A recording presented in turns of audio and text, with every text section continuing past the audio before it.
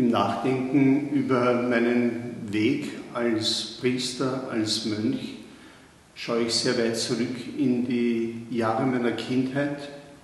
Und da gibt es den Moment, wo mich mein Religionslehrer, damals ein Priester und Kaplan in meiner Pfarre Stockerau, mich nach einer Religionsstunde hinausgeholt hat auf den Gang und ganz unvermittelt gefragt hat, willst du Priester werden? Ich war weder ein braves Kind noch Ministrant noch sonst irgendwie positiv auffällig.